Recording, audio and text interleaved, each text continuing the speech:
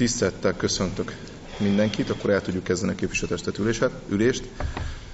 Mindenki jelen van, határozatképesek vagyunk.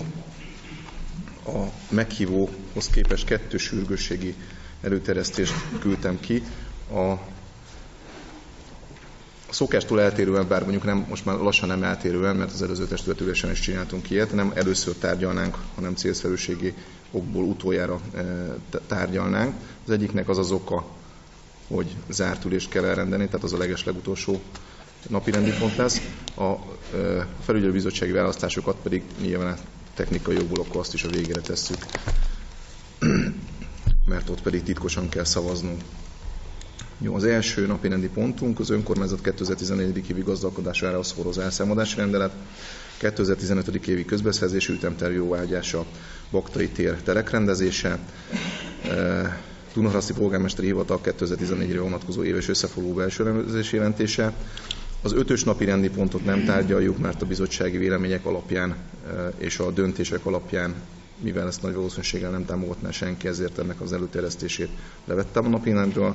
Beszámoló a Dunoraszti rendőrös 2011. évi munkájáról, megállapodás a lakosságról iránt elett rendőrkapitánysági koncepció 2015 évre vonatkozó végrehajtásáról, beszámoló folyamatban lévő peres ügyekről, pénzügyi bizottság beszámolója, Városfejlesztési Közbiztonsági és Környezetvédelmi Bizottság beszámolója, bölcsőde vezetői álláspályázat elbírálása, DV, D, bocsánat, DHV Kft. felügyelőbizottságának a felügyelőbizottsági tagoknak a megválasztása, és az utolsó pedig a kifogás benyújtása a Nemzeti Agrárgazdasági Kamara állásfoglalása ellen.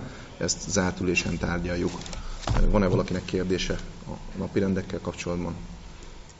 Kücsön Sándor szó. Köszönöm szépen. Mint ahogy a bizottság üléseken is tettünk, javaslom a 6-os, 7-es napi rendi pontok együtt tárgyalását, természetesen határozott hozatalt az külön-külön. Jó, tárgyalhatjuk együtt. Köszönöm szépen. Köszönöm akkor a bizottsági elnök úr véleményével illetve javaslatával együtt teszem fel, aki egyetért az, hogy együtt tárgyaljuk, és ez a sorrend, és ezek a napi rendi pontok legyenek tárgyalva, azt kérem, hogy készen is jelezzen. Köszönöm szépen, mindenki egyetértett. Ketten jelezték, hogy napi előtt szeretnének felszólalni. Hajdú Zsolt és Fényes István képviselők, és ebben a sorrendben szeretném adni a szót. Zsolti a szó. Köszönöm, tisztelt polgármester, ez képviselőtestület. A Városfejlesztési Bizottság elnökét szeretném kérdezni. Annak okán, mert hogy Szerintem ez a terület elsősorban őt érinti, illetve hát volt is már erről közöttünk szó. Természetesen elképzelhető, hogy más is a válaszadásba bele fog folyni. Eh, mindjárt mondom, miről van szó. Kerültem az alakiságot, mert interpellációt is készíthettem volna, mert annak ugye van egy esélyem, hogy elfogadjam a választ, vagy sem. Így ezt a lehetőséget kihagyom. A következőről van szó, ugye a múlt héten eh, eh, rendkívüli testületi ülés volt, amelyen ugye nincsen a televízió nyilvánossága jelen, és azért is gondoltam, hogy itt még szóba kerítem ezt. Magam vidéki tartózkodás miatt nem tudtam részt venni, ezen az ülésen, de azt gondolom, hogy utólag is nem biztos, hogy befolyásolta volna az ott létem. Végül is a testület elfogadott egy döntést, és azért a Városfejlesztés Bizottság elnökét kérdezem, mert ő egyszer azt mondták, hogy nyitott kapukat döngetek. De ezek a kapuk úgy látszik, hogy nagyon be vannak zárva, hogyha én a képet szeretném tovább folytatni. Emlékeztetném a jelen itt lévőket is, és a ö, költségvetési ö, tételek tárgyalásakor két esetben is Mindketten jeleztük, Naptibor képviselőtársam is, és én is azt, hogy körzetünkben lenne egy olyan utca, amelynek mindenképpen megérett volna a szőnyegezésére. Ekkor javasoltam azt, hogy ne atok módon döntsünk, hanem a képviselőtestület a korábbi és egyébként nagyon békés megoldást választotta, egy sorrendiséget fölállított, leült. És ezt úgy gondolom, hogy valószínűleg akkor is, a, nem voltam tagja soha a Városfejlesztési Bizottságnak, de valószínűleg a Városfejlesztési Bizottság koordinálásával történt, és az ottani előkészítése, amit aztán mi képviselők szinten elfogadtunk itt a testületi ülésen. Félértés ne esik, én nagyon örülök annak, hogyha Dunaharasztin bármikor elkészül egy utca. Amiért miért most én kérdezem a Városfejlesztés Bizottság elnökét, miért így? Holott az hangzott el itt is, még meg is erősítették itt, hogy talán még a Vásárhely utcánál van rosszabb utca is. Szeretném emlékeztetni az itt ülőket is, hogy naponta végig dübörögnek rajta a kukás autók, oda-vissza most már nagyon hosszú ideje, és katasztrofális állapotban van. Nyilván a Vásárhelyi utca betonosott része is abban lehet. Gondolkoztam azon, magamban próbáltam válaszokat adni, hogy vajon miért.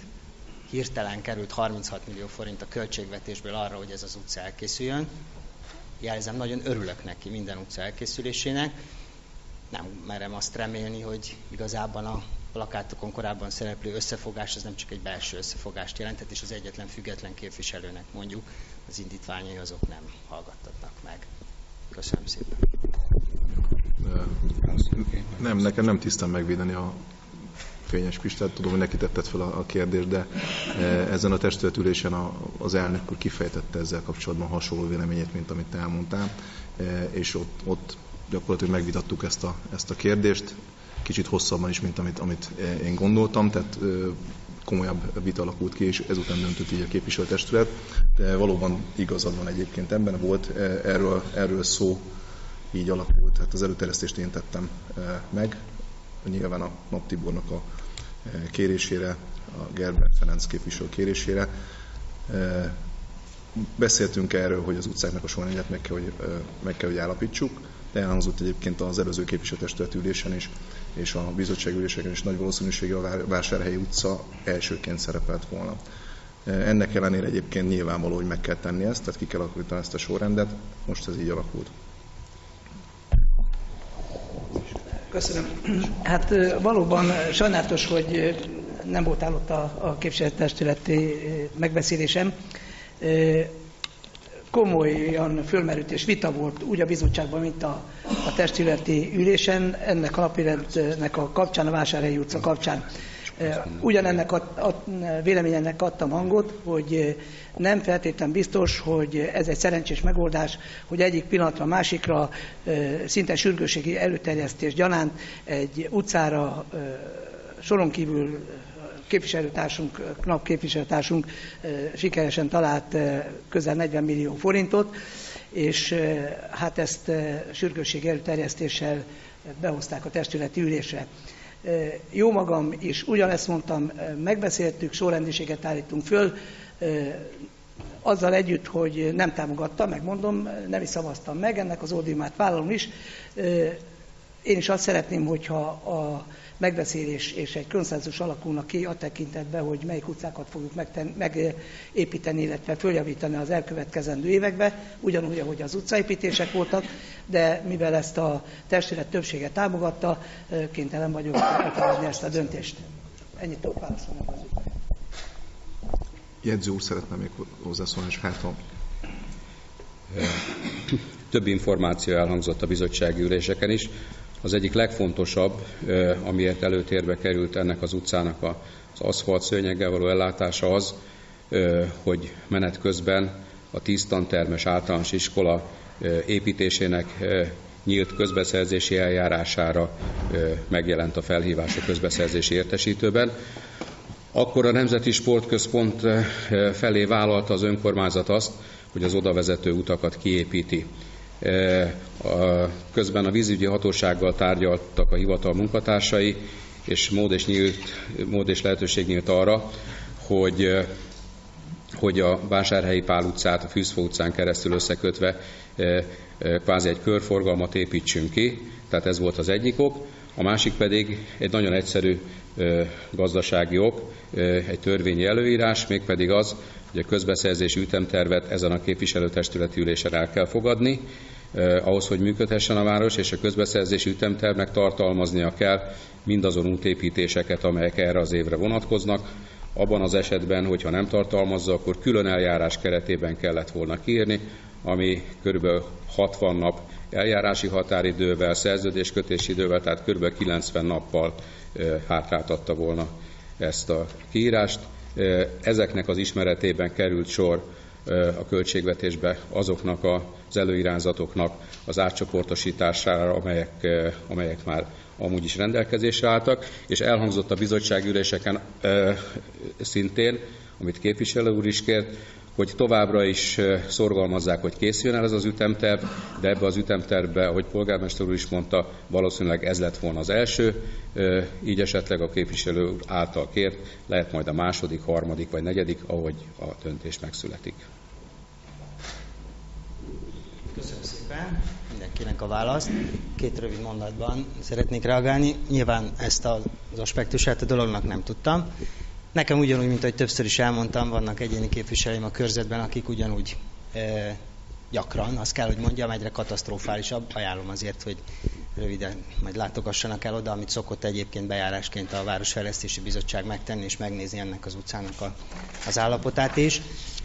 Mind a mellett egyébként is a testületülésen szóba hoztam volna, mert az ártülés az, amely, vagy nem zárt ülés, bocsánat, rendkívülés, amelyen ugye nem nincsen jelen a város nyilvánossága, és ma a nyilvánosság az nagy eszköz.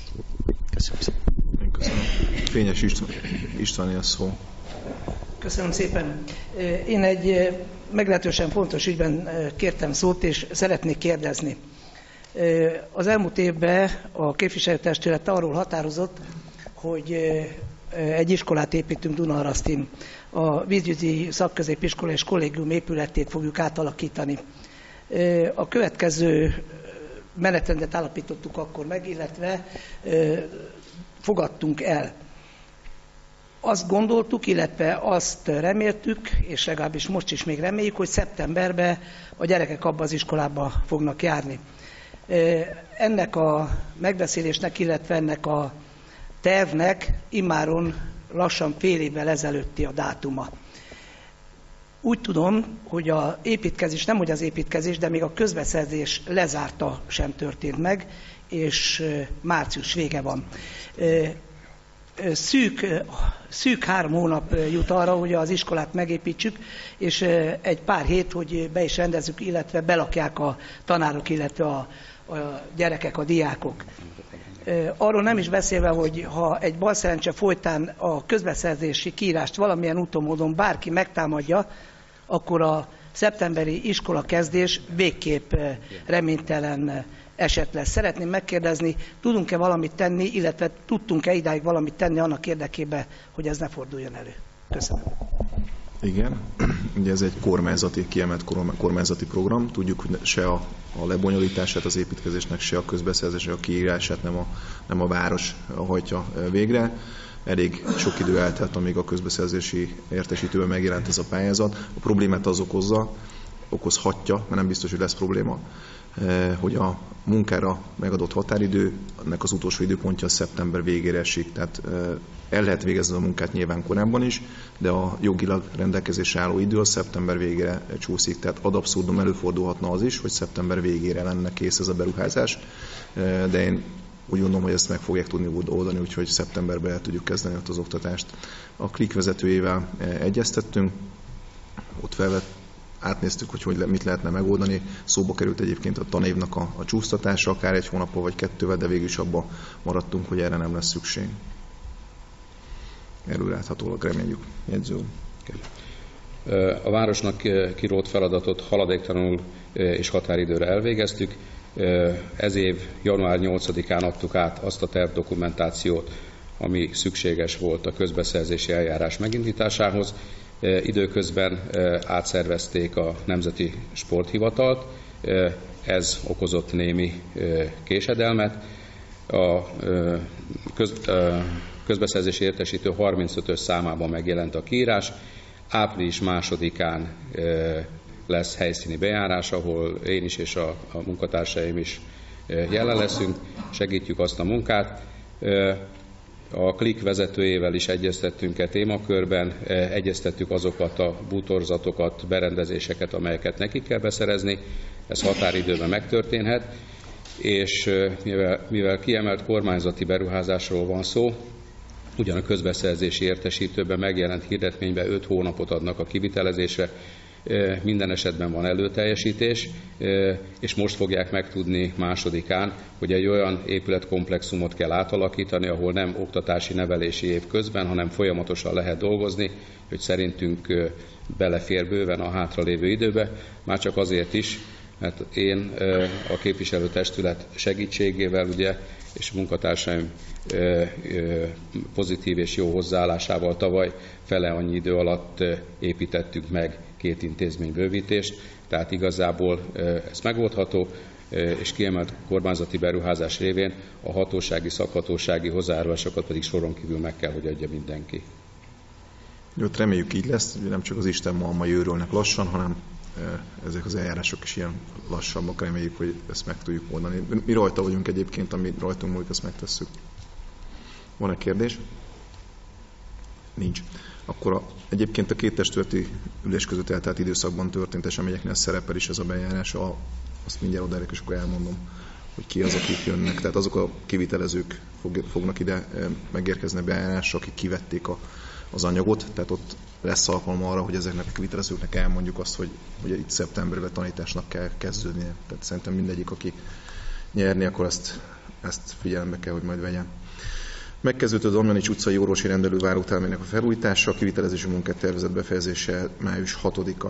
Korábban a beázások miatt veszélyesebb vált Hunyadi János általános iskola étkező mennyezete felett, hogy a további beázásokat is megszüntessük, lecseréltettük a teljes tetőfelület fedését, és új csapadékvíz elvezető rendszert építettünk ki. És akkor itt van a 10 tantermes iskolára történő átalakítás nyílt közbeszerzési eljárás, tehát elindított a nemzeti sportközpontok, a pályázatot kivett kivitelezőknek a helyszín bemutatása, a helyszíni bejárás keretén április másodikán lesz. Megkezdődött a napelemeknek a telepítése a Hétszínvirég óvoda és a Körösi Csoma Sándor általános iskola épületére. Helyszíni munkák húsvét utáni héten kezdődnek meg a Körösi, Körösi általános iskolában először. Megkezdődött a város kültetőtelen az illegálisan lerakott hulladékok összegyűjtése és elszállítása, gondolom látta mindenki, aki arra járt az út szélén a zsákokat. Többek között a Dunatisza csatorna partján, az 51-es főút környezetében és Dunasztit és Taksony közötti erdőterületén és a Némedi úton, úttól a kiskertekhez vezető földutak mentén. A város finanszírozásából lezajlott a 7. osztályos fiúk körében a HPV elleni védekezés szolgáló oltássorozat első szakasza, ugyanakkor megkezdődött az óvodákban, az iskolákban készülő nagy csoportos gyerekek látás, hallás és ortopédiai szűrővizsgálata, amit az önkormányzat megbízásával szakorvosok végeznek el. A második Rákóczi Ferenc általános iskolának 300 ezer forint, ez nem 350? 350 300, akkor ezt majd kiavítjuk 300, akkor jól emlékeztem, 353 ezer forint pályázati részt biztosítottam a polgármesteri tartalékból, új számítástechnikai eszközök beszerzésére, mivel a klik nem nyújtott erre fedezetet, de azért ne hagyjuk már ott azt a pénzt, ha már egyszer nyert az iskolaigazgató. Az Országos Választási Iroda pénzügyi főosztálya teljes körű ellenőrzést tartott a választási költségek felhasználása és az elszámolása tekintetében. Az ellenőrzést összegző jegyzőkönyvben megalapításra került, hogy a jogszabály előírások szerint történt minden, és az elszámolások is kifogástalanok. Ellenőrizték a, test, a területi gondozási központ gazdálkodását is, és a szabály, szabályzatrendszerét, és itt is mindent rendben találtak. Van-e valakinek kérdés a beszámolóval kapcsolatban? Nincs, akkor aki egyetért vele, az kérem, hogy készfelemelés jelezze. Köszönöm, mindenki egyetértett. Akkor az első napi rendi pontunk a 2011. évi gazdálkodásról szóló zárszámadási rendeletnek a tárgyalása, illetve e, elfogadása. Természetesen a pénzügyi bizottság kötelező módon e, tárgyalta. Előre vetőleg, ami a bizottságülésen még nem hangzott el, felolvasnám a e, könyvvizsgáló jelentésből is részletet. 2011 évi zárszámadással kapcsolatban elkészült a független könyvvizsgáló jelentés, mely szerint az éves költségvetési beszámolót a vonatkozó jogszabályoknak megfelelően készítették el. Beszámoló Dunaszti város önkormányzat a 2011 évi költségvetési teljesítésére teljesítéséről, a 2014. december 31-én fennálló vagyoni pénzügyi helyzetéről, valamint a gazdálkodás eredményéről megbízható és valós képet ad. Az államháztartás számítelőről szóló 4 per 2013. január 11-i kormányrendelet 37. paragrafusa szerint a helyi önkormányzatokról, nemzeti önkormányzatokról, társulásokról, valamint az államháztartás, államháztartás önkormányzati alrendszeréről, az államháztartás központi alrendszeréről és az államháztartás egészéről, az éves költségvetési beszámolók adataiból a kincstár önszevont beszámolót készít helyi önkormányzat, nemzetiségi önkormányzat társulás összevont beszámolóját a kincstár a költségvetés évet követő év április 15-ig megküldi a helyi önkormányzat, nemzetiségi önkormányzat és a társulás részére. Amennyiben ennek következtében eltérés mutatkozik, a konszolidált beszámolóról a könyvvizsgáló újabb jelentést készít, melynek a képviselőtestület által történő elfogadására is szükség lesz. Ezt el kellett, hogy mondjam, tehát a könyvvizsgáló úr, aki egyébként a teremben tartózkodik, ha van valakinek kérdése, ezt felteheti ilyen véleményt adott ki. A zárszámadás azért fontos, mert tudjuk, hogy a költségvetési tervezetünkben sor olyan tétel szerepelt, halasztott, idézőjeles halasztott tételben, amit a zárszámadás elfogadásával, mivel ismer, most, most már ismert a pénzmaradványnak a, az összege, látjuk, hogy az adókat milyen ütemben és hogyan, milyen mennyiségben tudtuk beszedni. Tehát látjuk, hogy ezek a tételek teljesültek, tehát a következő évi költségvetésünknek a végrehajtását ezzel a zárszámadással tudjuk megkezdeni. Most adom meg a szót. Köcsön Sándor. Tisztelt képviselőtestület, nagyon röviden csak arról szeretnék beszámolni. Ugye polgármester úr utalt rá, hogy a pénzügyi bizottság tárgyalta a napirendi pontot, hogy különösen vita nélkül elfogadta és elfogadásra ajánlja a testületnek. Hát azt kell, hogy mondjam, egy szép gazdasági évet zárt az önkormányzat, ennek eredménye látszik a, a városban, és a város intézményei kielégítő, sőt azt mondhatnánk, hogy jó színvonalon tudtak működni. Köszönöm szépen. Köszönöm. Van-e még valakinek kérdése? Nincs? Akkor rendeletet alkotunk. Dunoraszti önkormányzat képviselőtestülete megalkotja az önkormányzat 2011. évi költségvetésének végrehajtásáról szóló rendeletét. Aki ezzel egyetért, kérem, hogy készfelemelés jelezze. Köszönöm szépen, mindenki egyetértett. Következő napi rendi pontunk a 2015. évi közbeszerzési ütemtervnek a jóváhagyása. Van-e valakinek kérdése a határozati javaslattal kapcsolatban? Kettő kérdés is volt, későn emeltem meg a felem, nem láttam ki jelentkezett. Először Andrási Sándornak adom el először a szót, aztán Knapti volna. A 2015-ös évi közbeszerzési ütemtervet szeretnék hozzászólni. Ígérem, nem leszek hosszú, de mindenképpen szeretném elmondani a véleményem. Már csak azért is, mert nyugodtan mondhatom, hogy az egész kérdéskört a másik oldalról is jól ismerem. Több száz pályázaton indultam a cégeimmel. Pontosan tudom, hogy hogy megy a gyakorlatban. A határozati javaslatban foglaltak a közbeszerzési eljárásokkal kapcsolatban egy alapvető kérdést szeretnék feltenni. Nem értem, hogy miért kizárólag meghívásos és hirdetmény nélküli pályázatokon valósítaná meg a város ezeket a fontos beruházásokat.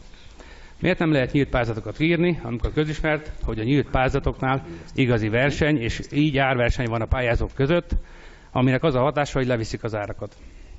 Így minimum 15-20%-ot lehetne megtakarítani, és ezt valami fontos fejlesztésre lehetne fordítani a városban. Számításaim szerint összességében így akár 100 millió forintot is meg tudnánk spórolni nyílt közvetési pályázatokon, valóban megvesélyeztetnénk az indulókat. Igaz, az önkormányzatnak sokkal több munkája lenne a pályázatok értékelésével, kiírásával, de én úgy gondolom, hogy, hogy van olyan apparátusa az önkormányzatnak, hogy ezt, ezt, ezt meg tudja oldani. Ezzel szem... Ezzel szemben, ha előre adott, hogy csak melyik cég indulhat, akkor az visszaélésekre is lehetőséget ad. Ezt mindenki tudja. Tisztában vagyok azzal, hogy jó rég ez a gyakorlat, nem leszek népszerű ezzel a felvetésemmel, de kérném a testületet, hogy, hogy, hogy megismételve kérném az egyesetet, hogy gondoljuk meg, hogy nem lehetne nyílt közvetítési pályázatokon kiírni ezeket a pályázatokat. És ezzel okosabban tudnánk gazdálkodni a város pénzével. Jó, miért megadom a szót jegyző úrnak, aki ezt szeretne válaszolni erre a felvetésre. Egyébként Honok Tibor is feltett ezt a kérdést a bizottsági üléseken, gyakorlatilag a lényege ugyanez volt. Azt azért szeretném elmondani, hogy jó ez a utalás, de a Dunaraszti önkormányzatban a hivatalban nincsenek visszaélések a közbeszerzésekkel kapcsolatban, tehát ezt, ezt így szeretném kezdeni ezzel, hogy ezt tisztázzuk, és akkor megadom a szót a jegyző. Igen, én is ezzel kezdtem volna, és abszolút népszerű lesz a kérdéssel, képviselő úr. Azért vagyunk, hogy válaszoljunk a kérdésekre. Természetes, hogy feltette ezt a kérdést. Nem a hivatal szakemberei, és nem a hivatal jegyzője, és még csak nem is a képviselőtestület dönti el, hogy milyen közbeszerzési eljárás kerül kiírásra, hanem a mindenkori országos éves költségvetési törvény írja elő, hogy milyen értékhatárú beruházáshoz milyen közbeszerzési eljárás társul. Hogyha nagyobb volumenű beruházást fogunk végezni, mint amit például végeztünk a főút esetében, akkor nyílt eljárás lesz.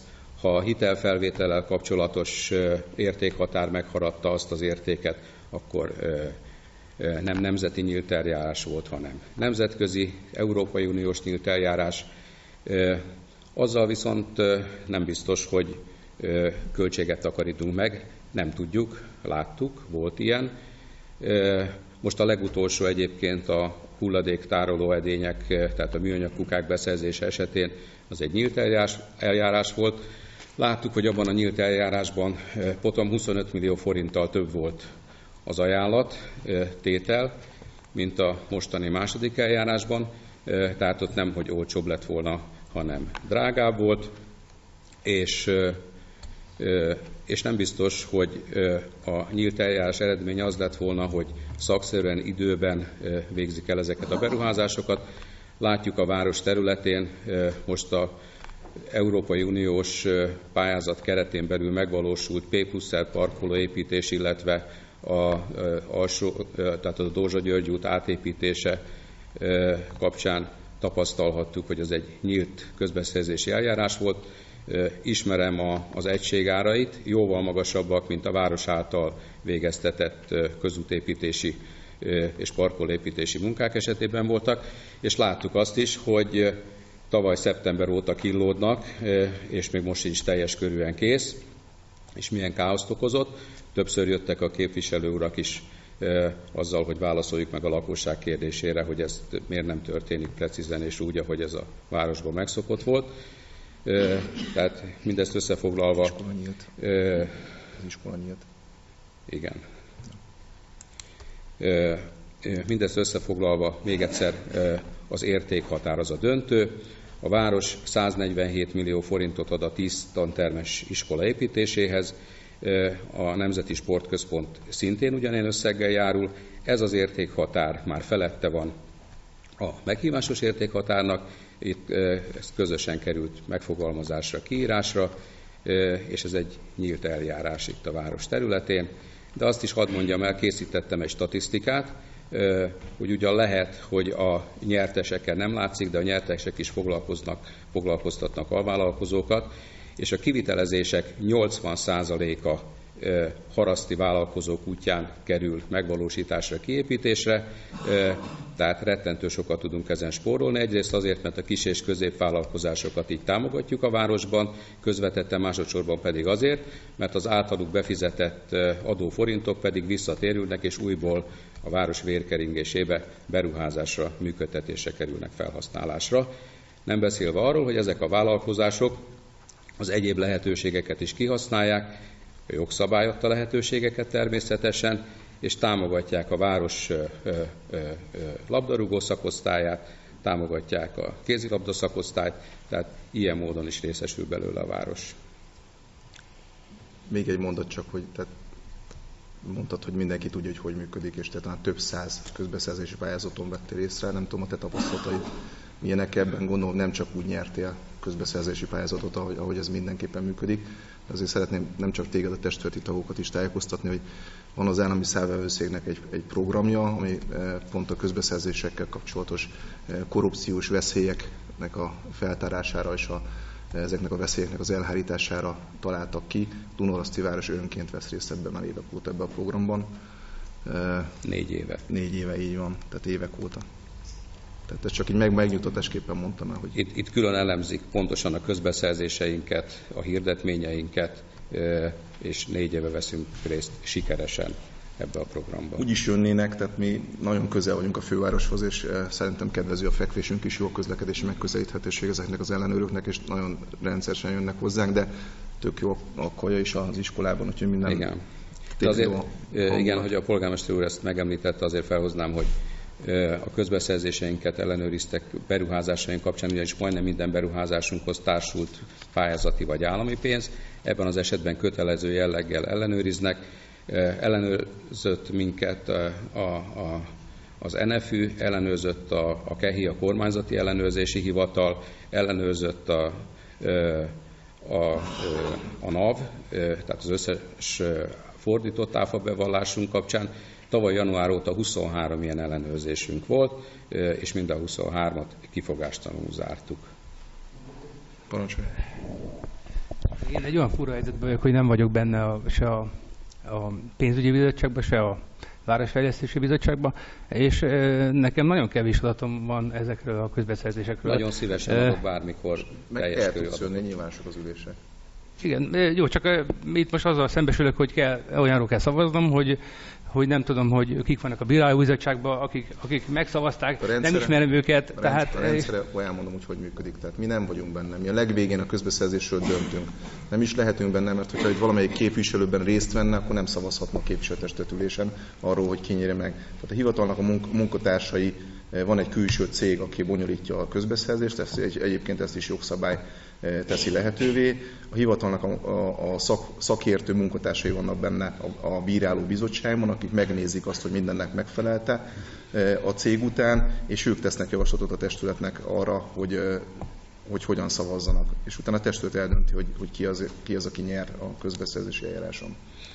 Igazából nagy, ö, nagy terünk nincsen ebben az egészben, mert le, a legtöbb esetben, tehát, a, tehát ne, mi nem ilyen pontozásos rendszert szoktunk választani, mint amire egyébként lehetőség lenne, hanem a leg, legtöbb esetben 90-99%-ban egyébként a, a döntő mindig a, a legalacsonyabb ár, mert de hogy mindenki itt is arra tör, törekszik, hogy a legolcsóbb áron legyenek elvégezve ezek a munkák de ezen túl ezek a munkák ne csak a legolcsóbb áron legyenek, hanem úgy, úgy legyenek elvégezve, eh, hogy a, minőség is eh, eh, kifogástalan legyen. Még egy mondat csak ezt, tehát a, közbeszerzési törvényt azt a kormány elő, előterjesztése alapján az országgyűlés dönti el, tehát nekünk nem hiszem, hogy sokkal szigorúbb dolgokhoz kéne ragaszkodnom, mint amit egyébként a törvény előír. Nem csak ezzel kapcsolatban, hanem minden bármelyen más jogszabályok kapcsolatban. És akkor még egy utolsó, hogy akkor és a haraszti vállalkozók meg vannak hívva erre a közbeszedési? Jegyző úr elmondta az előbb.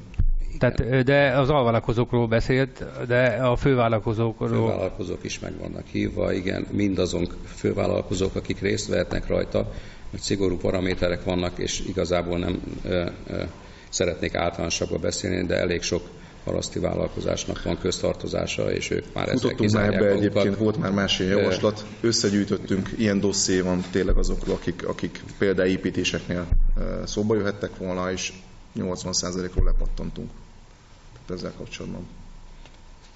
De szívesen összekészítem képviselőnek egyrészt a helyi szabályzatot, mert van egy helyi közbeszerzési szabályzatunk is, azt is jó megismerni, másrészt pedig minden ezzel kapcsolatos előkészített munkát, mielőtt kimegy közbeszerzési eljárása, pontosan azért nagyon pontos műszaki dokumentáció van, hogy mindenki ugyanazzal a feltételrendszerrel számolja ki az ajánlatát, és mindenki ugyanazzal a feladatellátással találkozzon.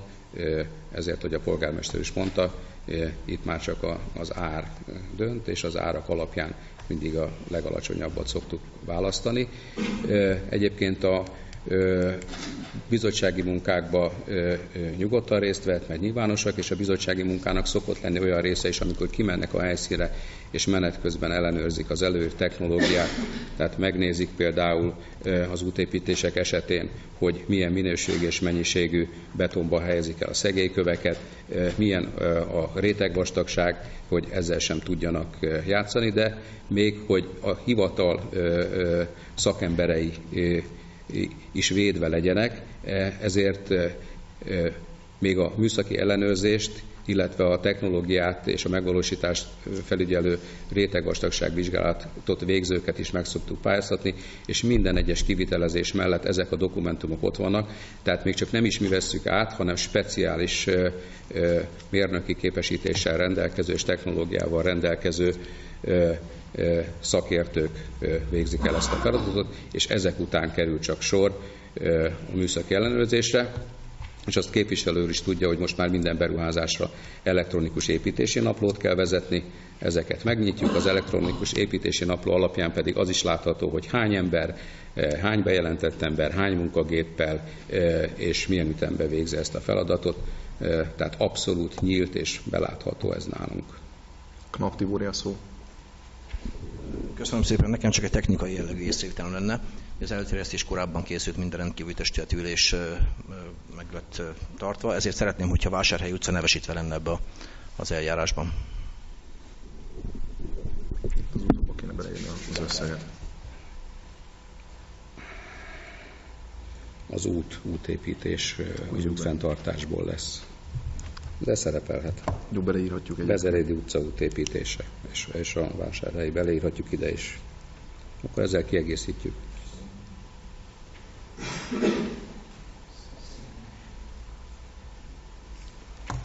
Jó, van-e még kérdés? Nincs, akkor a határozat javaslat a következő. Dunaszti önkormányzat képviselőtestet a 2015. évre a következő közbeszerzési tervet állapítja meg, és akkor a táblázatban felsorolt feladatok, összegek és eljárás típusa, kiegészítve a Vásárhelyi utcával kerül most szavazásra. Aki egyetért ezzel, kérem, hogy készülmes jelezze. Köszönöm. Aki nem ért vele egyet, tartózkodás, egyfő tartózkodás mellett képviselőtestet elfogadta az ütemet, ütemtervet. Következő napi rendi pontunk a baktai tér telekrendezése napi rendi pont. Van-e valakinek ezzel kapcsolatban kérdése?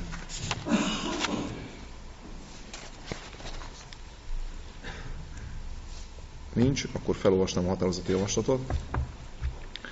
Dunaraszti önkormányzat képviselőtestület a jogszabályoknak megfelelő állapot elérése érdekében megbízza a polgármestert, hogy kössön a 3534 per 2 és a 3534 per 6 helyreállí számú ingatlanokat, valamint az ezekből határozott mellékletét képező 1108 per 2014 számon záradékot változási vázra szerint kialakítandó 3534 per 7, 8, 9 helyreállí számú ingatlanokat érintő adásvitelel vegyes telekcsoport újraosztási szerződést melyet megelőzően tegyen intézkedést igen, ez így nem jó.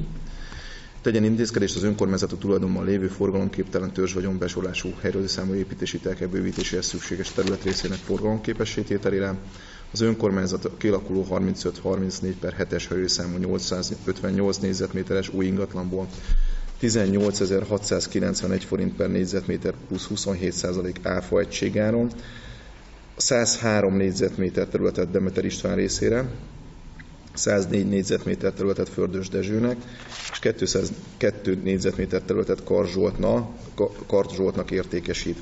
Az a kilakuló 35-34 per 7 helyről számú 858 négyzetméteres új ingatlanból összesen 152 négyzetméter tulajdonrészt szerez a Débakó BT változatlanul tulajdonában lévő 227 négyzetméter terület tulajdonjogát tartja meg. A kialakuló 35-34 per 7 helyről ingatlan tulajdonosai egyes telekrészek használatáról és beépíthetőségéről is rendelkeznek. Ben kikötik, hogy a szerződéssel tulajdonban kerülő vevők az egyes ingatlan részeik három éven belül történő beépítése elmaradásának esetére az önkormányzat az adott vevőtől az eredeti vételáron visszavásárlási jogot szerez.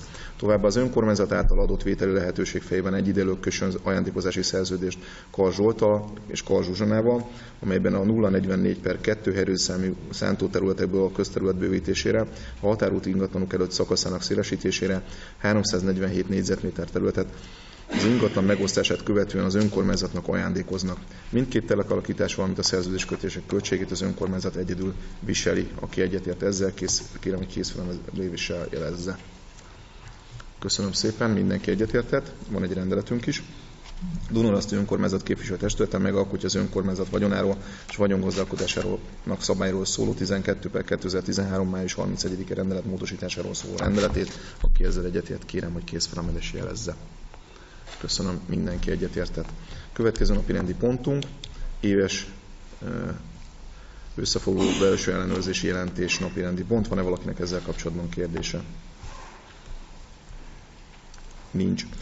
Dunaraszti önkormányzat képviselőtestülete elfogadja a Dunaraszti polgármesteri hivatal 2011. évre vonatkozó éves összefoglaló belső ellenőrzési jelentését. Aki ezzel egyetért, kérem, hogy készfelemessel jelezze. Köszönöm szépen, mindenki egyetértett ezzel. Akkor a következő napi rendi pontunk, az a ötös ugye kimarad, hatos és a hetes napi rendi eh, pont.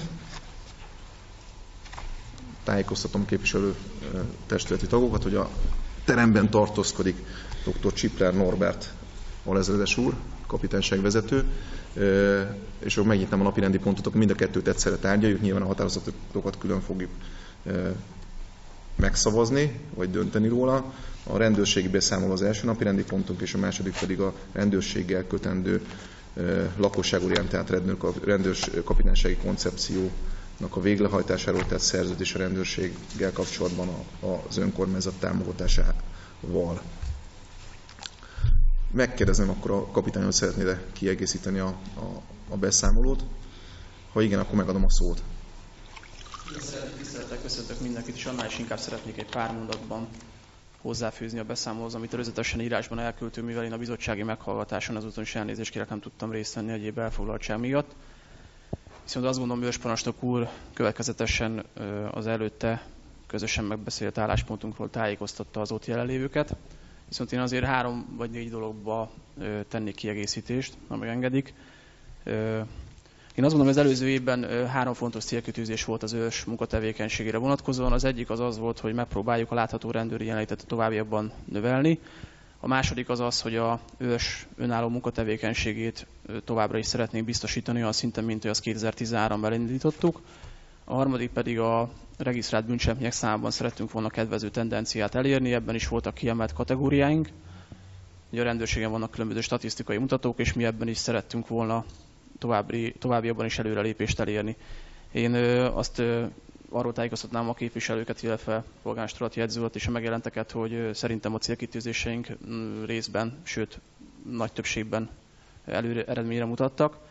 És végigmennék pár dolgon, és annál is inkább mondom ezt, hiszen a kapitánynak megvolt az éves értékelő állományülése, ahol gazdasági főkapitány helyettes úr képviselte főkapitány urat, és elmondta a sziget Miklósi rendőrkapitányság vonatkozásában, hogy a kapitányság az elmúlt évek egyik legeredményesebb évét zárta. Természetesen ugye itt törzsbeszámolóról van szó, de azért én kitérnék két mondatban arra is, hogy miért mondta ezt főkapitány helyettes úr. Ugye a kapitányságunk a elmúlt évben jelentős mértékben lecsökkentette a regisztrált bűncselekmények számadatait. Nyilván ez sok más körülménynek is köszönhető, de annak, hogy az elmúlt öt év legkevesebb bűncselekményét regisztráltuk, abban nagy szerepe van a kollégáink áldozatkész munkájának, és annak is egyébként, hogy több olyan csoportot sikerült kényszerintézkedés határa helyeznünk, akik üzletszerűen követtek el bűncselekményeket. A másik, hogy a kapitányságunk a előző évben szintén az elmúlt 6-8 évnek a legeredményesebb évét produkálta a felderítés szintjén, mint egy 54,5%-os nyomozás eredményesség mutatóval zárt. Ez, megyé, ez egész Pest megyét tekintve példaértékű, nem versenyeznek a kapitányok egymással, de azt gondolom, ezt azért mondom el hogy tudják, lássák azt, hogy a kapitányunk hova jutott a elmúlt évekhez képest. És akkor én tovább is lépnék és rátérnék az őrsre természetesen, mert azt gondolom, hogy akik jelen vannak, azokat ez érdekli leginkább. Attól függetlenül természetesen, hogy tényleg a kapitányunk nagyon eredményes évet zárt. Én azt gondolom, hogy a Dunaaszti rendőrös területi regisztrált bűncselekmények száma az stagnált, hiszen jól látták az írásos beszámolónkban 527-ről 531-re emelkedett, azt gondolom, hogy ez a négy nem releváns. Persze nyilván akinek a sérelmére elkövették, az más véleményre helyezkedhet. Én azt gondolom megnézve, és igyekeztem a mellékletekben is ezt megmutatni önöknek, hogy megnézve az elmúlt öt év tendenciáit, ugye folyamatos csökkenés volt, most itt van egy némi nemű stagnálás, remélem, hogy ebben tudunk majd előrelépni. Ugyanígy egyébként kiemelt kategóriaként kezeltük a gépkocsival kapcsolatos bűncselekmények számát. Ugye itt egyből meg is száfolnám eredményeinket. Egyrészt a gépkocsi lopások száma nagy szerencsére csökkent, viszont a gépjármű feltörések száma növekedett. Másik kiemelt kategóriánk volt a lakásbetörések számának lehetséges csökkentése. Ebben is azt gondolom eredményt értünk el, hiszen itt az ős területén csökkent, illetve városban is csökkent a lakásbetörések száma. És ugyanúgy ez igaz a rablás bűncselekmények elkötésének számadataira. Én azt gondolom, hogy ha végigmegyünk a állampolgárok biztonságérzetére befolyással bíró bűncselekmények tekintetében, akkor ezeket mindenképpen ki kellett emelnem. És akkor a másik oldal, amit önök is jól láttak a beszámolóban, hogy sajnos nőtt a közteten elkövetett bűncselekmények számadata, amivel azt gondolom, hogy számot is kell adnunk. Én nem kívánok egyébként nem létező hivatkozásokat felemlegetni, azt viszont elmondanám önöknek, hogy van egy olyan jellegű bűncselekmény, mint a garázdaság és a testisértés. Ez is a köztelethez kapcsolódik. Természetesen, hogyha közteleten követik el, Ugye az elmúlt évben volt egy visszatérő csoportunk, akik egymás sérelmére több alkalommal követtek el ilyen jellegű bűncselekményeket. Sajnos ugye ezt nem egynek kell tekinteni, hiszen ott több ember ugrott egymásnak, ebből csoportos garázdaság lett, és több ember sérelmére elkötett testi sértés is. Két ilyen esetünk is volt, sajnos mind a kettőt legalább 7, illetve 8 bűncselekménnyel fejeztük be vádemelési javaslattal természetesen. Mind a két ügyben kiemelten intézkedtünk. Én azt gondolom, az is jól látható volt abban az időszakban a város területén, igyekeztünk nem csak saját megerősítő erőket idevezényelni, hanem a készíti rendőrség egysége is többször segítettek nekünk a szolgált ellátásban. Ez igaz egyébként a kutyás szolgáltra is, és a lovas rendőrök szolgált teljesítésére is. Sajnos őket kevesebbszer kapjuk meg, mint szeretnénk, de őket is láthattuk. A másik pedig a vagyonelni bűncselekmények számatának emelkedéséről. Nyilván ez is érdekli önöket, hiszen ez is kiderült a beszámoló, hogy ebben is volt egy növekedő tendencia. Ez pedig annak köszönhető, hogy sajnos a különböző bevásárlóközpontok is, ha nem is bevásárlóközpontok, de különböző hipermarketek vagy szupermarketek sérelmére elég sok bűncselekményt elkövetnek, és van egy kiemelt, ugye van itt kiemelt olyan bolt, amelynek a sérelmére az elmúlt évben több mint 21, illetve 22 bűncselekményt regisztráltunk, nem beszélve azokról a szabásértési deliktumokról, amik nem minősülnek bűncselekménynek, 50 ezer forint értéket meg nem haladó kárértéket produkálnak az elkövetők, nem dolog erőszakkal, természetesen ezeket nem is mutattuk meg. Én csak arra akartam ráirányítani a figyelmet ezzel a 21-es számadattal, hogy körülbelül nagyságrendileg 25-30-al nőtt az ilyen bűncselekmények száma a város területén. Én azt gondolom, hogy ez ennek is betudható. És akkor átérve arra, hogy a, miért látom azt, hogy az őrs egyébként a tevékenységét én azt gondolom, hogy szintén a kapitánysághoz hasonlatosan eredményesen végezte, mivel a közveti óraszámunk is jelentős mértékben növekedett, a közteletre vezényelhető főben azért tudtunk el változást elérni, én azt gondolom pozitív irányba, mivel ezt is olvashatták a beszámolóban, kiemelten kezelte az országos rendőrfőkapitányság a tavalyi év második felétől egészen ebben az évben is, és még tart is ez a program az úgynevezett 19 megyés megerősített szolgáltot. Ennek a rövid lényege az azt jelenti, hogy országos rendőrfőkapitányság egy bizonyos mértékű túlóra keretet biztosított annak a céljára, hogy a köztetek rendjét megpróbáljuk ilyen mértékben is jobban biztosítani, és a látható rendőri jelenlétet megpróbáljuk megnövelni.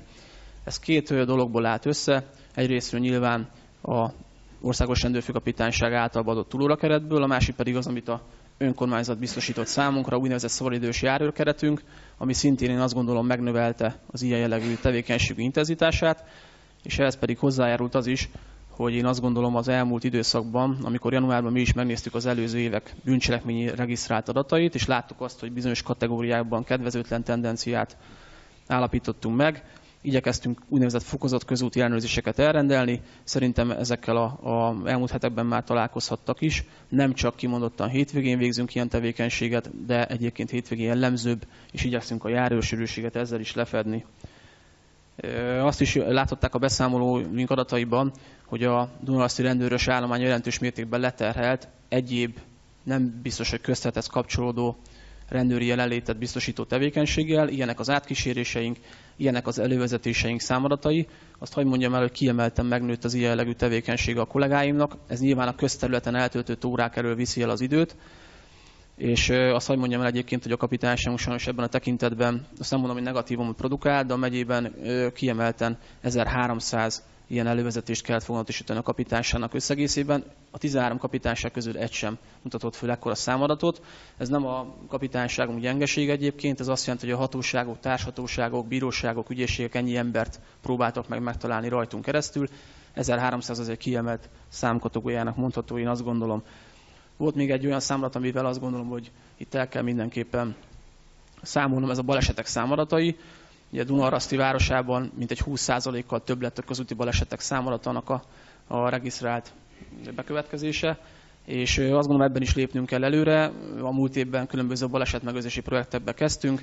Ennek a múlt hét pénteken már sziget Miklóson néme, némelyek, akik arra jártak, láthatták, hogy mi a, a tanúbizonysága.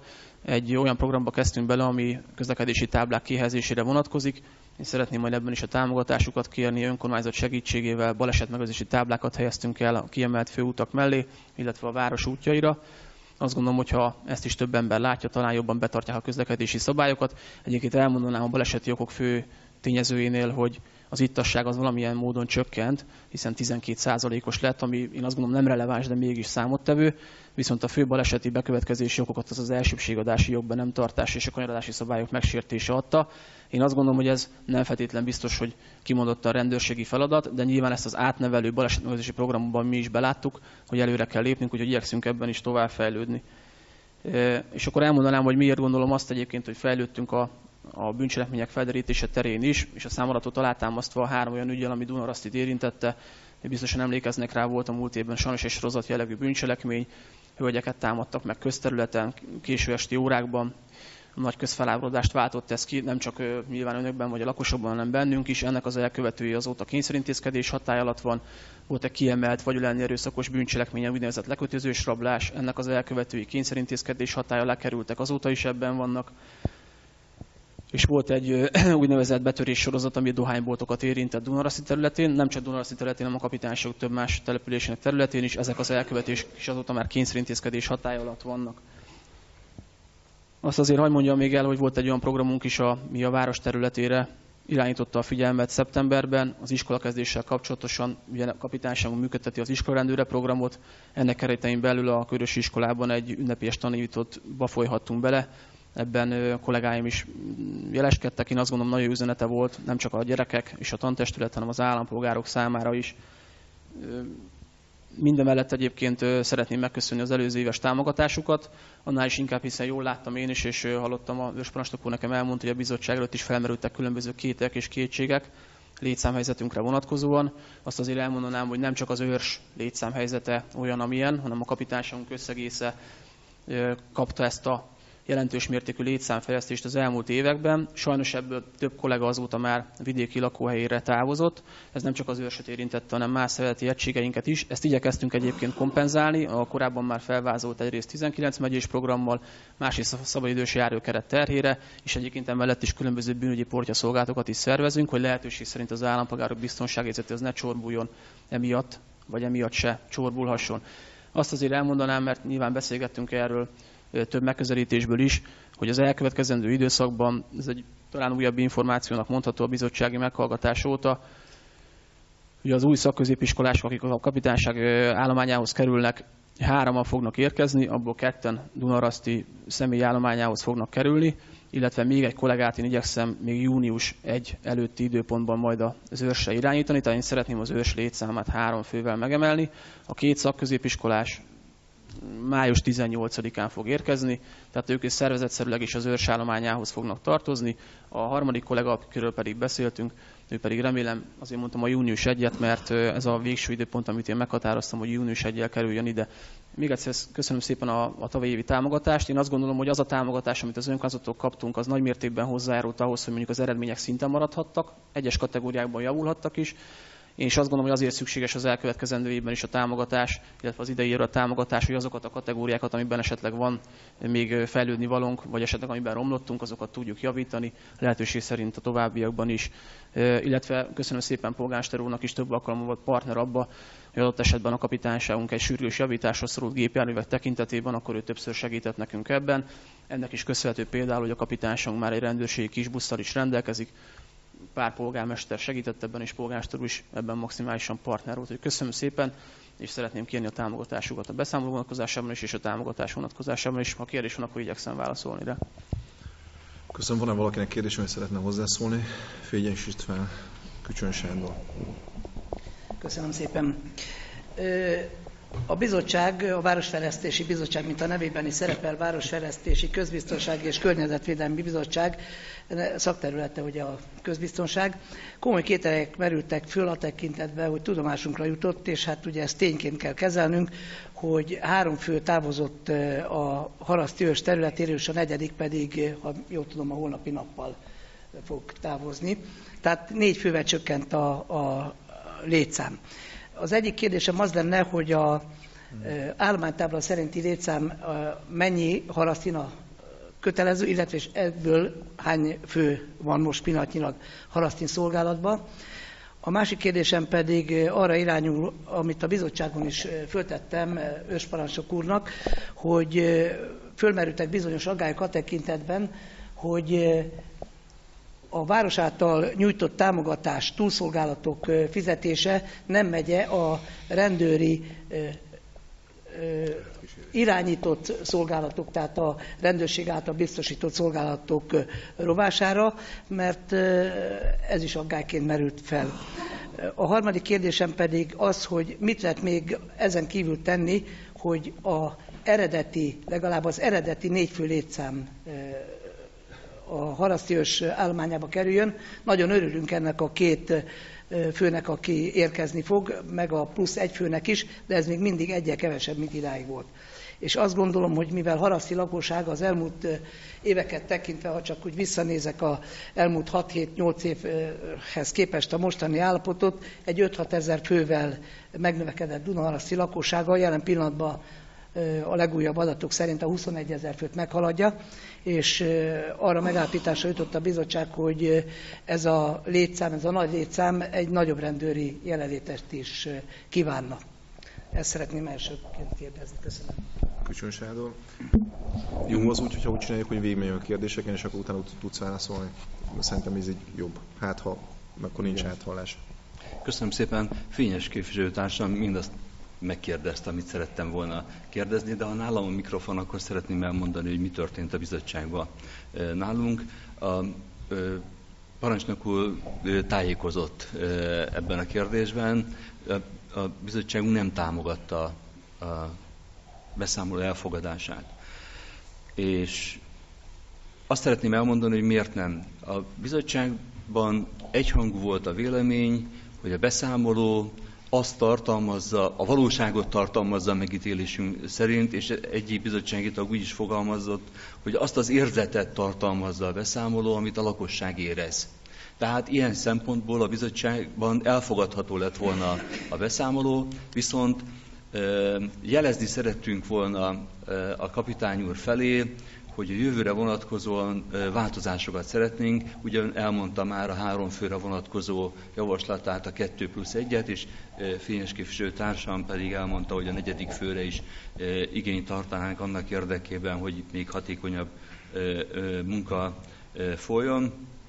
Tehát a, a, azt fogalmaztuk meg a bizottságülésen, hogy a bizottságülésen nem támogatjuk jelezve a szándékainkat, és attól függ, tesszük függővé, és a bizottsági tagokat teszik függővé az itteni szavazatukat, hogy kapitány úr mit tud ezekre a felvetésekre mondani. Köszönöm szépen. Van-e még kérdés? Nincs, akkor megadom a szót, kapitány úr.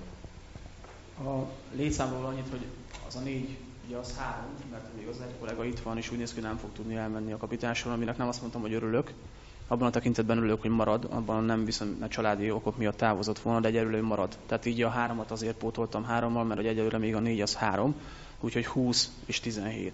Tehát 20 a rendszeresített létszám, 19 plusz 1 és 17-en vagyunk. És akkor ezért mondtam ezt a három főt, mert én is látom. Egyébként most nem azt mondtam, hogy bárki érezze emiatt magát kellemetlenül, mert szerintem elég, hogyha én magamat kellemetlenül érzem mondjuk a beszámoló ellenfogadása miatt a bizottsági ülésen, de mondjuk ezzel más egységet esetlegesen nem biztos, hogy kellemes helyzetbe hozok, de nyilván azt majd mi, ahogy tudjuk, megoldjuk. Egyébként pont, amit ö, igyekeztem az elő felvázolni, hogy a szabadidős órakeretek, ezek azok pont arra próbáljuk meg felhasználni, hogy esetleg a rendőröket jobban el tudják érni, vagy mondjuk adott esetben, hogyha valaki egyébként szabad napján vagy pihenő napján lenne, akkor esetleg szolgálba tudjon állni, ezzel is növelve a járőrök elérhetőségét, a járőrsűrűséget. Egyébként köszönöm szépen a polgárőrségnek is az egész éves együttműködését, azt gondolom, hogy példaértékű továbbra is. A bizottsági adást pedig abszolút vettem, nem örültem neki, és nem is örülök neki, annál is inkább, mert én elfogadom az üzenetértéket, és én azt gondolom, hogy bármennyire is nem tetszik, mindenképpen fejlődnünk kell benne, és azt gondolom léptünk is ebben a tekintetben. Viszont amikor a beszámoló elfogadásáról döntenek, én azt azért hagyj jegyezzem meg, hogy itt a kollégáimnak a munkáját is minősítik. Én azt gondolom, hogy a kollégáim tisztességgel becsülettél tettek a dolgokat az egész év vonatkozásában. Nyilván még egyszer elmondom, van olyan terület, amiben kell fejlődnünk, de azt gondolom, hogy más tekintetben pedig példaértékűen dolgoztak, és ez a kapitányság összegészére is igaz, és az őrs egész működésére is igaz. Mindig vannak hibák, de azt gondolom, hogy mi azért vagyunk, hogy megpróbáljuk ezt korrigálni, és a közbiztonság pedig azt gondolom nem megvehető kategória, tehát mi azért igyekszünk mindenhol jelen lenni, és nyilván a jelzéseket pedig figyelemmel venni. Úgyhogy én mindenképpen a jelzésértéket azt köszönöm. Még egyszer mondom, szerintem fogunk benne tudni lépni, ahogy elmondtam én azokkal a feltételekkel is. Van-e még kérdés? Vagy hozzászólás? Nincs. Ez volt a, gyakorlatilag a beszámoló része, mivel együtt tárgyaljuk a másik, másik, a, másik előterjesztésre együtt, ami ugye a, a támogatásról szól. Bizottságüléseken is egyébként az a vélekedés alakult ki, hogy a kettő egyébként szorosan összefügg. A másik, csak ott képviselőtestületeknek a tájékoztatása miatt mondom el, hogy kialakítottunk egy olyan kérés, de mondjuk kapitány úr már erre részben válaszolt, hogy a második napirendi pontot, vagy következő napirendi pontot egy külön véleménnyel szeretném elfogadtatás, elfogadásra javasolni a képviselőtestületnek. Unaraszti város önkormányzatának képviselőtestülete a város megnövekedett lakosság száma és jó földrajzi megközelíthetősége miatt kéri a Pest megyei rendfőfőkapitány urat, hogy a sziget Miklósi rendőrkapitányság Unaraszti rendőrségnek állományi létszámol jelenleg hiányzó négy főt a lehető legrövidebb időn belül pótolja. De nyilván ezt nem csak a főkapitány úrnak, hanem a kapitány úrnak is szeretnénk tolmácsolni ezúton is hivatalosan. És ennek teljesülése esetén a városvezetés az eddigi szinten támogatja rendőrösöt, illetve a szabadidős túlszolgálatos rendőrjárók munkáját. Tehát ezzel a felvetéssel én javaslom a második előterjesztési pontnak, határozott javaslatnak az elfogadását, hogyha ezt így most megnyitottam. Igen? Tessék? Hát akkor jó, hárommal. Most azért nekem lenne akkor, tehát hogy áll össze ez a 17, illetve 20 fő? Tehát, tehát körzeti megbízottak, járőrök, és a bűnügyi állomány, vagy és mondom parancsnok. Igen, csak bocsánat, bocsánat ezt nem is részleteztem, de Igen. azt gondolom, ezt tavaly megbeszéltük már, hogy amikor a polgármester először tárgyaltunk, egy két és fél három évvel ezelőtt először találkoztunk, akkor ugye felvetés volt a részletekről, és a testület részéről is gondolom azt tolmácsoltátok részemre, hogy az ős működése legyen önállóbb, és lehetőség szerint legyen bűnügyes kollega, adott esetben esetleg más irányultságú Igen. kollega is. Egyrészt köszönhetően szintén a testületnek lett egy közalkalmazott kollega, aki azt gondolom nagyon aktív és nagyon jó irányba vitte el az ős adminisztrációs munkatevékenységét, elérhetőségét is ezáltal a másik pedig ugye azóta egy szabálysértési előadó és egy bűnügyes kollega is dolgozik a rendőrös állományában, ugye itt van parancsnok úr, és azon kívül áll össze még a KMB és ebből a járőrökből és a járővezetőkből. Okay. De egyébként az, az is előrelépés volt az, el, bocsánat, az elmúlt időszakban, ugye, hogy a Dunalaszti rendőrös kutyás ö, szolgálati formával is gazdagodott. Ugye ezt a kutyás formát egyébként biztos fognak vele találkozni az elkövetkező időszakokban. Most bevítettük föl négy kutyára, a kapitányságunk kutyás szolgált, hogy a kettő főből állt, két kutya vezetőből. Most már ez a kontingens négy főre duzzadt. Az elmúlt évben fél éves képzésen volt két kollégán kapott két kutyát. Ezt a egységet szeretnénk együttesen működtetni, és a köztetre vezényelni együtt. Tehát a négy kutyát és a négy kutyavezetőt együttesen szolgáltra fogni. Ebben egyébként most kezdjük meg április hónaptól a közös szolgált vezénylést. Parancsolj. Kiegészíteném még a kapitányunk szavait annyival, hogy nem csak ennyivel segített a város, hanem a kamerák tekintetében 8 órás szolgált részint, a polgárség részint pedig egy kollega segítségével, azt hiszem ez is hatható segítség a rendőrségnek, és épp ezt gondolom, ezért gondolom többek közt, hogy ami támogatást a város megadhatott a rendőrkapitányságnak, illetve a haraszti eh, rendőrösnek, az eh, a környékben is szerintem példaértékű, és éppen ezért eh, amennyiben lehetséges ragaszkodnánk ahhoz, hogy a, a rendőrség is olyan úgy viszonyuljon a, a haraszti városhoz, mint ahogy a város a rendőrkapitánysághoz. És ezt szeretnénk tolmácsolni a felettesének. Feletteseinek, bocsánat. Köszönöm. Köszönöm, Bocsánat, nem szerettem volna kifelejteni a térfigyelő rendszert, elnézést, ha esetleg kimaradt volna a szóbeli kiegészítésemből. Valóban is tényleg köszönjük ennek is a, a beruházási megvalósítását, hiszen azt gondolom több esetben is ősparancsnok úr már erről számoltott az előző évben, hogy több esetben tudtunk bizonyítani jogsértő cselekményeket, mind közlekedési bűncselekményt, mind vagyonenni bűncselekményt és szabálysértés is, úgyhogy valóban így van, és abszolút ezt nem akartam elrejteni, vagy vék alá tenni, csak valószínűleg kimaradhatott a felsorolásból. De nagyon nagy hasznát veszük egyébként bűn megelőzés és szabálysértések megelőzése terén is. Köszönöm szépen. Csak két mondat. Én, nekem nincs okom a kapitány úr szavaiban kételkedni, és amit elmondott, azt el tudom fogadni. És különös tekintettel arra, hogy tényleg a személyi állomány munkáját tükrözi a beszámoló, és azt őket minősítjük a elfogadással. Én el fogom fogadni a beszámolót is, és a együttműködési megállapodást is. Köszönöm szépen. Megadom a szót. Köszönöm szépen nekem kérdésem lenne. Ö, tulajdonképpen a közlekedés is hozzátartozik a mi biztonságérzetünkhöz, és azért az utóbbi időben elég sok, és ugye volt egy nagyon nagy baleset az 51-es, a, ugye a közbiztonságunk érdekében a közutakon mit tudunk tenni többet?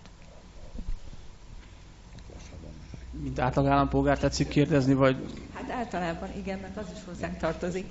Örülök a felvetésnek, ahogy mondtam is az előbb, mi is érezzük a előrelépési szándékot és a, az irányt is, csak én arra irányítottam rá az előbb a figyelmet, hogy én azt gondolom a közlekedési morálban az átlag állampolgárnak nagyon, van, tehát nagyon mértékben meg kellene fejlődnie. Ugye a januárban erősítettem említést, elkezdtünk egy még fokozottabb közúti ellenőrzési sorozatot.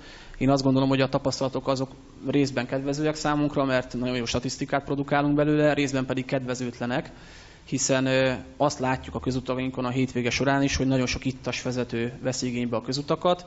Ezáltal ugye a mi szabálysértési feljelentéseink, büntető feljelentéseink száma és a helyszíni bírságolásos tevékenységünk száma is megnövekedett. Ugye erről beszámolóban szintén adtam tanúbizonyságot, és hozzáteszem egyébként azt is, hogy nálunk a helyszíni bírságolás az nem egy cél, hanem egy eszköz. Mi arra próbáljuk meg rájönni az állampolgárok figyelmet, hogy tartsák be a közúti közlekedési szabályokat, és rengeteg alkalommal intézkedünk, differenciáltan és figyelmeztetünk. Csak amikor már visszatérő delikvensekről van szó, nem tudunk ennek a lehetőségnek teret adni. És azt gondolom egyébként, hogy úgy tudunk ebben előrelépni, hogy például ezt a közlekedési projektet, amit említettem itt Sziget Miklós vonatkozásában, azt mondjuk Dunarasztiban is megpróbáljuk elmozdítani, vagy mondjuk, hogy mi megjelenünk a kisiskolásoknál, az óvodásoknál, valamint a nyugdíjas kluboknál, úgy esetleg a felnőtt lakosságot is megpróbáljuk megszólítani megvalósítani. Ebben egyébként nekünk a jelenlévő tévétársaság is partner, hiszen ő általában ezeken a közlekedés biztonsági projektjeinkkel részt vesznek. Ott általában adunk tanúbizonyságot arról, hogy mi mit próbálunk elmozdítani. Sajnálom, hogy esetleg nem minden állampolgár érzi ezt a felelősséget magáénak. Egyébként a hétvégére is már előre bocsátom, ennek is lesz majd egy kampány jellegű része a hét közepétől de csütörtöktől ugyanúgy hétfő késő éjszakáig egy fokozott közúti ellenőrzést fogunk végrehajtani, és ennek is egyetlen egy célja van, hogy ne történhessenek ilyen közlekedési balesetek, mint amit ön is elmondott. Sajnos nem csak egy volt az 51-es úton az elmúlt időszakban, hanem kettő, és mind a kettő halálos eredménnyel is végződött. Egyébként a halálos közötti baleseteink számadata az, az viszonylagosan csökkent, de hát nyilván egy halál is sok a közútakon, úgyhogy érezzük és átérezzük ennek a felelősségét, szeretnénk mi is előrelépegetni, és bármilyen civil kezdeményeződés van erre, mi amögé be fogunk állni. Köszönöm szépen. Tehát akkor azt leszögezhetjük, hogy több ellenőrzés lesz, esetleg sebességmérés, mondjuk a belterületen is, meg külterületen is? Számíthatunk rá? Így van. Köszönöm szépen. Köszönöm. Van-e még kérdés?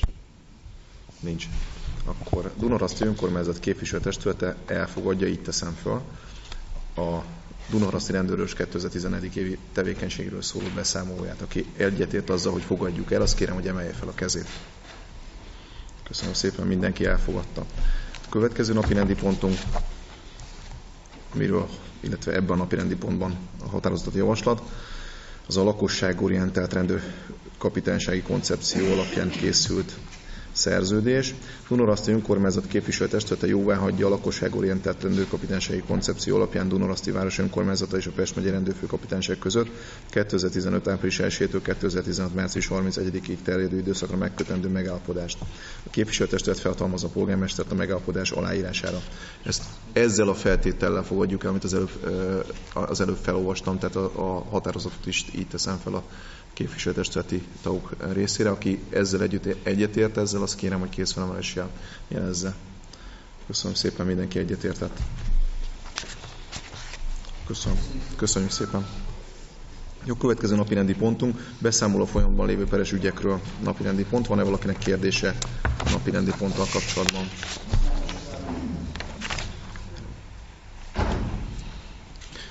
Nincs. Akkor aki elfogadja a beszámolót, kérem, hogy készül mesélezze. Köszönöm, mindenki elfogadta.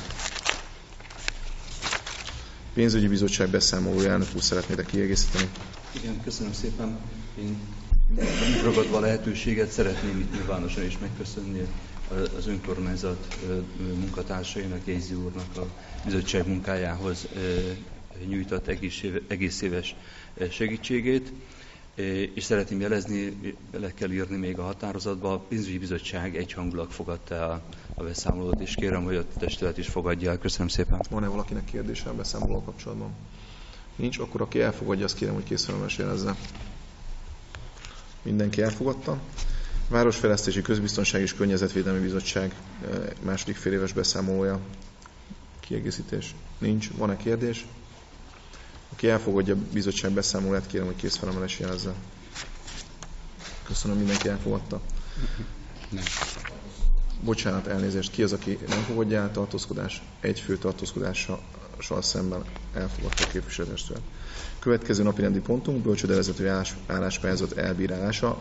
Szeretne valaki hozzászólni? Jenő. Köszönöm a szót.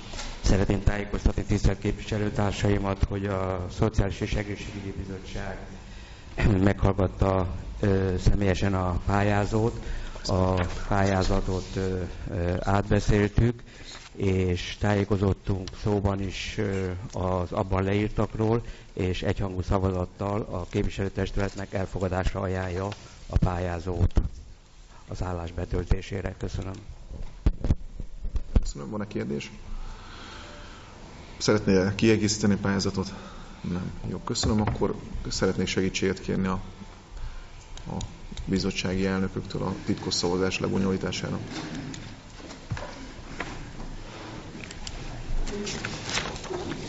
Tizenkét szavazószépen találni a formában, mind a 12 szavazat Doleszák Jánosnél igen, a vonatkozott gratulálunk.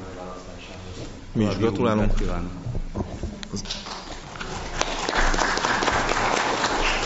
Jó, akkor a kettő, annyit kell csak elmondani, hogy 2020. március 31-ig tart ez a megbizatás, és az illetmény pedig változatlan marad. Jó, időközben miatt mennénk a következő napi, napi rendi pontra. Jegyző úrral tanakodtunk, és azért nézegette olyan sokáig a közbeszerzési ütemtervet, hogy hova tegyük be.